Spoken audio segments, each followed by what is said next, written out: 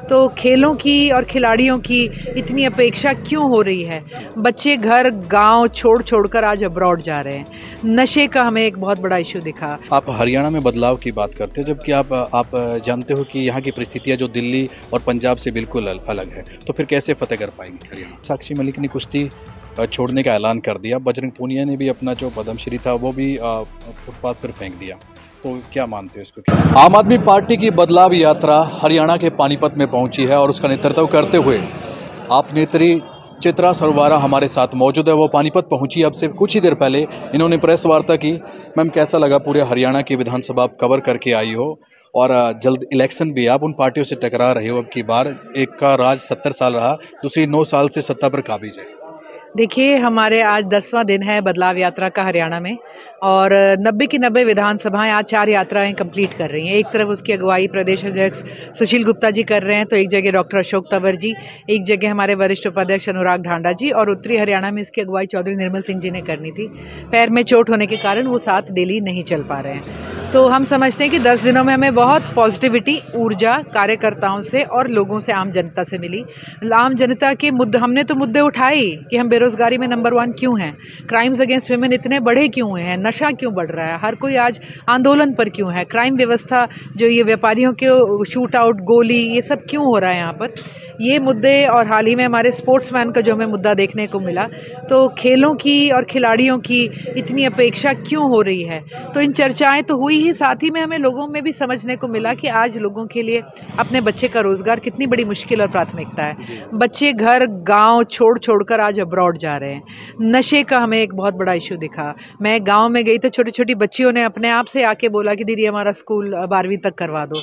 तो आज बच्चों को आठवीं तक आठवीं से आगे पढ़ने के लिए लड़कियों को दूर जाना पड़ रहा है, जो बहुत से माँ बाप के लिए हमारी व्यवस्था को देखते हुए मुमकिन नहीं होता।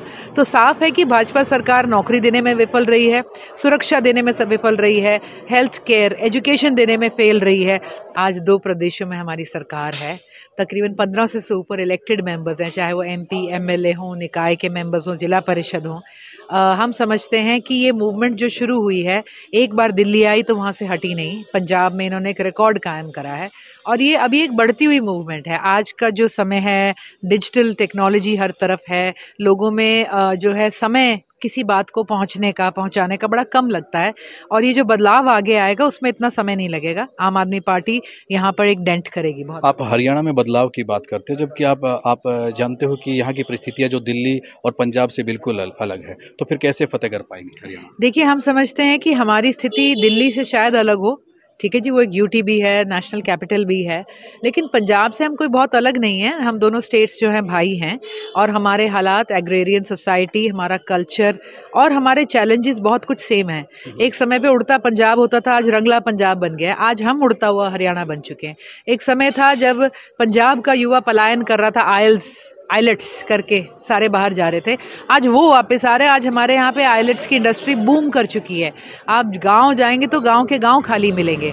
आपके बड़े बड़े नेता जेल में हैं। अरविंद केजरीवाल जी को भी ईडी का नोटिस आया है। कुछ जेल में भी है। तो ऐसे कैसे नेतृत्व बिना नेतृत्व के कैसे आप लोग आगे मूवमेंट कर पाएँगे? क्योंकि आपके बड़े बड़े जो नेता है शीर्ष नेतृत्व वो जेल में है। क्या डर नहीं नहीं नहीं हमारा शीर्ष नेतृत्व जेल में नहीं है। आपको डर?